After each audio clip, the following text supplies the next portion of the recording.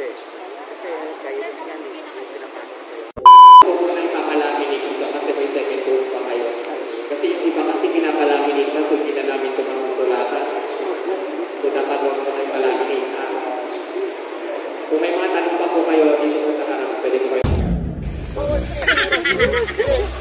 Go.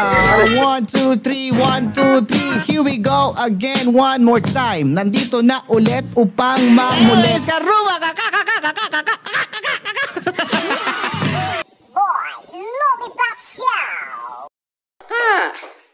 So, kauwi lang natin mga kaibigan from uh, La Union Cultural Institute. So, doon po ginanap ano, yung uh, ng araw yata ano, ng uh, A4 category vaccination. And uh, tayo po ang una yata na nasa talan. So, hindi na ho tayo nakapag-video nung uh, ilang mga kaganapan doon.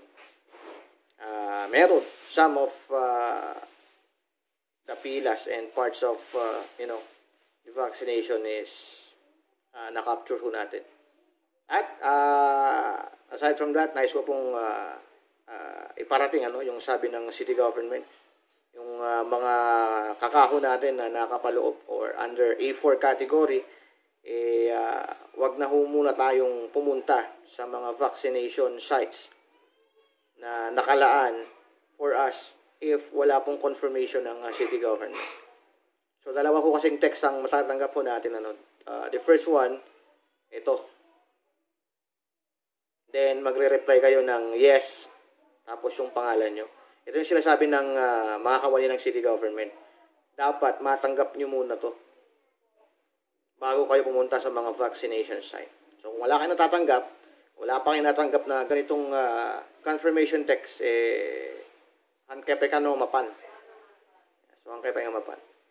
At isa pa, wala akong uh, walk-in muna no na A3 kasi si wifey hindi nakapasok. Uh, under A3 category siya pero hindi siya nakapag-register sa city. Hindi pwedeng walk-in. So, yun naman po mga kaibigan ng kaganapan. Maraming salamat. Uh, sana no, uh, mabakunahan tayong lahat. Okay. Stay safe baka.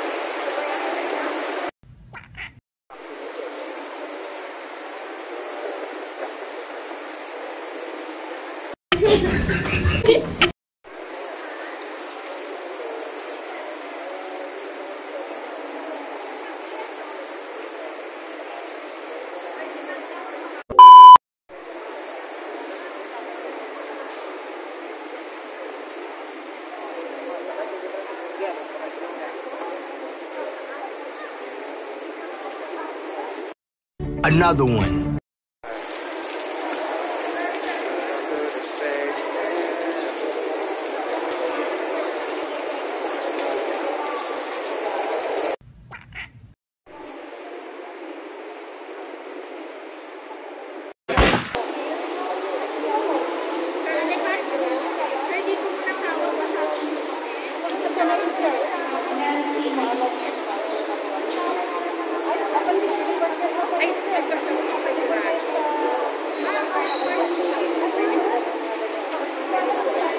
I am the one, the way your thunder.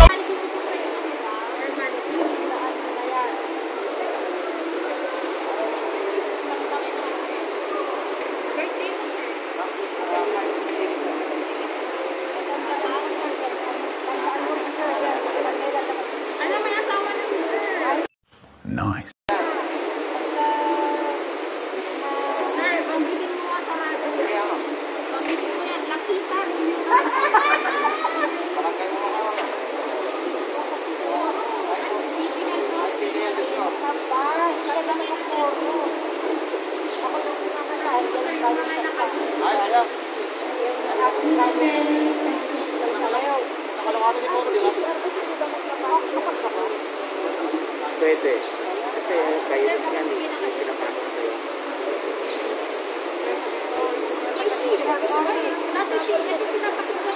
Oo, talaga. Dapat mo na lang ano ka. Para meron ka.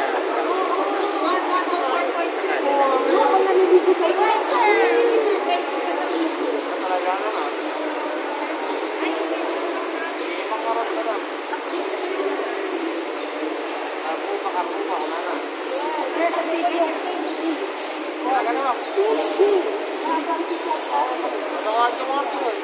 Ah, konti yung Facebook. Maganaman din. Para buktihan.